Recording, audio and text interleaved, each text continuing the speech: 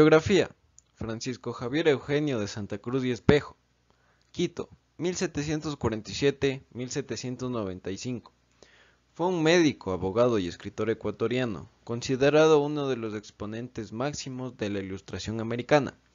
La vida de Eugenio Espejo estuvo signada por el mestizaje. Nació en Quito en 1747, hijo de Luis Chusig, un indígena oriundo de Cajamarca, y de María Catalina Aldaz, una mujer mulata nacida de una esclava liberta que contaba con ascendientes vasco-navarros. Su mismo nombre parece delatar el tránsito de su identidad mestiza. El apellido Espejo fue adoptado tardíamente por su padre, y el de Santa Cruz proviene de la devoción cristiana. Hay quien afirma, como Leopoldo Benítez Vinuesa, que su verdadero apellido es un misterio. De extracción humilde, el espejo, infante y adolescente, se crió en el ambiente del Hospital de Misericordia de Quito. Imperaba entonces una medicina, mezcla de empirismo y escalosticismo, y eran muchos los médicos improvisadores e incompetentes. Para 1762, el mestizo quiteño se graduó de bachiller y maestro de filosofía en el Colegio Jesuita de San Gregorio. Su autobiografía recoge una confesión de esta época que marca el sino de su vida futura. Él dijo, Deseo ardiamente ser conocido por bello espíritu. En 1767 se recibió como doctor en medicina en la Universidad de Santo Tomás y en 1770 obtuvo un título en Derecho Civil y Canónico. Este último periodo de estudios fue decisivo. En él se añejó lo mejor de su espíritu sarcástico, vibrante y virulento. La formación de Espejo transcurrió entre la influencia del probabilismo jesuítico, de los libros hipocráticos y del jansenismo. Fue lector asiduo, Las Provinciales, de Blaise Pascal, del Teatro Crítico Universal, de Fray Benito Jerónimo Feijo, de la lógica moderna y los libros hipocráticos de Andrés Piquer y del método de estudiar del célebre Luis Antonio Verney, más conocido como el Bardaniño. En 1772, Espejo empezó a ejercer la medicina en Quito e inició su sátira y crítica a los responsables de los males imperantes en la ciudad. Años más tarde, en 1785, el Cabildo de Quito le solicitó la redacción de un método para prevenir las viruelas. En el informe que realizó al respecto, atribuyó el problema a causas sociales y culturales. Afirmó que los responsables de las epidemias contagiosas era la ignorancia en cuestiones de higiene, las deficientes condiciones sanitarias de la ciudad y hasta la mala formación médica de, de los propios sacerdotes, que sin criterio dirigían el hospital de Quito. Las críticas de Espejo no se detuvieron ante la violenta reacción de sus acusados. Detenido bajo el cargo de ser autor de El retrato de Galilia, un manuscrito sangriento y sedicioso, Espejo fue encarcelado por primera vez en 1787, pero los cargos resultaron carentes de pruebas y poco tiempo después quedó libre. A partir de aquí, el viaje, que por intimidación de sus enemigos realizó a Bogotá, logró, al contrario de lo que se pretendía, ampliar su audiencia y favorecer nuevos proyectos. Allí hizo amistad con Antonio Nariño y Francisco Antonio Sea, jóvenes intelectuales colombianos, y trabó contacto asimismo con Juan Pío Montúfar. Bajo el amparo de este último, Espejo proyectó la conformación de una sociedad patriótica cuyo fin sería promover el mejoramiento de Quito. La Real Audiencia de Quito fue establecida como parte del Estado español por Felipe II de España, el 29 de agosto de 1563.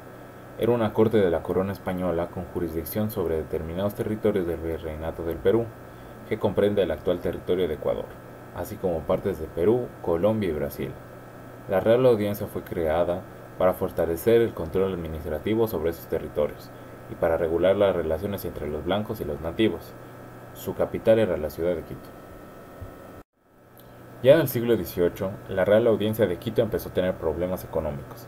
La carencia de caminos limitaba la comunicación entre pueblos y ciudades, los obrajes, un tipo de fábrica textil, habían provisto trabajos, pero ahora se encontraban en decadencia, fundamentalmente debido al empleo de medidas enérgicas frente al contrabando de telas europeas y una serie de desastres naturales. Los obrajes fueron sustituidos por las haciendas y los grupos dominantes locales continuaron explotando a la población indígena. En la Real Audiencia, la calidad de educación se deterioró tras la expulsión del orden jesuita. Pocas personas instruidas vivían en Quito como para llenar el vacío que dejaron. La mayoría de la población ni leía ni escribía bien. Por otro lado, los pocos que pueden acceder a estudios universitarios recibieron una educación marcadamente teórica y basada en la memorización como la principal técnica de aprendizaje. El escolasticismo, y en decadencia en esa época, aún era enseñado, y los estudiantes pasaban la mayor parte de su tiempo en discusiones metafísicas. Como resultado, los intelectuales quiteños, que en su mayoría eran clérigos, se expresaban con afectación y no tenían ideas nuevas. Adicionalmente, en 1793, solo había dos médicos disponibles en Quito, uno de los cuales era precisamente Espejo. La mayoría de las personas que enfermaban eran atendidas por curanderos, la discriminación étnica era generalizada y la mayoría de personas consideraba que la sociedad se dividía en estamentos, diferenciados entre sí por origen racial. Debido a esto, la dignidad y honor de las personas podían ser vulnerados por prejuicios raciales. Asimismo, un relajamiento de las costumbres sociales se producía en todos los niveles sociales. Las relaciones extramaritales y los hijos ilegítimos eran comunes, debido a que la pobreza iba en aumento especialmente entre las personas más humildes. Muchas mujeres se veían obligadas a encontrar rápidamente alojamiento en conventos, y asimismo los hombres se ordenaban como sacerdotes, no por vocación, sino porque así resolvían sus problemas económicos y mejoraban su estatus social. Eso explica la abundancia de clérigos en una ciudad tan pequeña como Quito en esa época. El pensamiento de Eugenio Espejo. En el ámbito educativo, con sus primeras tres obras, Espejo buscaba mejorar el pensamiento intelectual de Quito. Su primera obra, titulada El Nuevo Luciano de Quito, ridiculizaba el sistema educativo anticuado preservado por el clero. Espejo señalaba que las personas de Quito estaban acostumbradas a la adulación y admiraban a cualquier sacerdote que pudiera citar la Biblia de forma pomposa e insustancial. Su segunda obra, Marco Porcio eh, Catón, expuso la ignorancia de los pseudointelectuales de Quito, y en su tercera obra, La ciencia blancardina, obra en la que Espejo aseguraba ser el autor de las dos anteriores, eh, criticaba los resultados del sistema educativo del clero, ignorancia y afectación. Los tres libros fueron polémicos en su tiempo. En el ámbito teológico. En 1780, en su primera disertación ceñida a asuntos religiosos, Espejo escribió una carta teológica llamada Carta al Padre de la Graña sobre Indulgencias, en la que examinaba las indulgencias de la Iglesia Católica, mostrando su profundo conocimiento sobre teología y dogma. Analizó los orígenes históricos de las indulgencias y su desarrollo, citando decretos y bulas relativas al uso abusivo de las mismas. En esta obra, Espejo fervientemente defendía la autoridad del Papa. El 19 de julio de 1792, Espejo escribió otra carta, llamada Segunda Carta Teológica sobre la Inmaculada Concepción de María, ante la petición del inspector del Santo Oficio. Como su nombre lo indica, esta carta trataba sobre la Inmaculada Concepción de la Virgen María. Una vez más, su autor mostró una erudición sobre la materia y su conocimiento sobre el estado de la cuestión en el siglo XVIII. Asimismo, Espejo escribió una serie de sermones, notorios por su simplicidad. El clérigo e historiador ecuatoriano Federico González Suárez consideraba que estos sermones eran dignos de estudio, a pesar de observar en ellos una falta de espíritu evangélico. En definitiva, se puede concluir que Espejo era un hombre profundamente religioso. En el ámbito económico. A partir de 1785, Espejo se interesó en el bienestar de su comunidad y en la prosperidad de la ciudad de Quito. Sus obras entre ese año y 1782 claramente notaban la influencia de filósofos de la Ilustración, cuyas ideas adaptó a las condiciones locales. A medida que muchos pensadores comprendían el poder de la economía como una fuerza social, Espejo influido por Feydeau y Adam Smith, entre otros, mostró su deseo por reformas comerciales y agrícolas, en particular aquellas reformas relacionadas con la conservación y el uso adecuado de la tierra. Para promover estas ideas fundó la Escuela de la Concordia.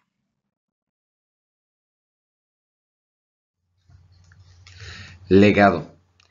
Espejo es considerado el precursor del movimiento independista de Quito Murió en 1795.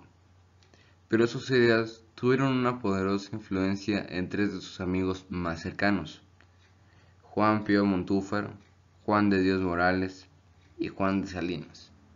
Ellos, junto a Manuel Rodríguez Quiroga, iniciaron el movimiento que culminó con la declaración de la independencia el 10 de agosto de 1809.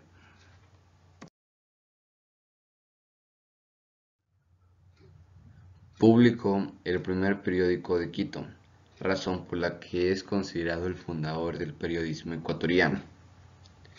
También es considerado el primer crítico literario del Ecuador, según el académico español Marcelino Menéndez y Pelayo. El Nuevo Luciano es la obra de la crítica literaria más antigua de América del Sur.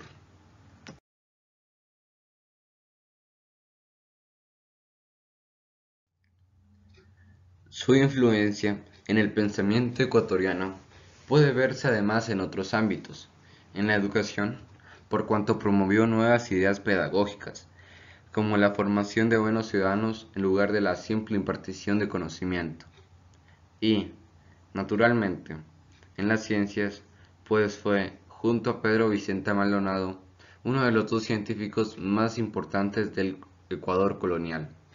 Dedicó su vida a analizar la realidad social del Quito colonial, la pobreza y la falta de educación de sus habitantes, y denunció estas limitaciones, incluyendo la corrupción de las autoridades coloniales.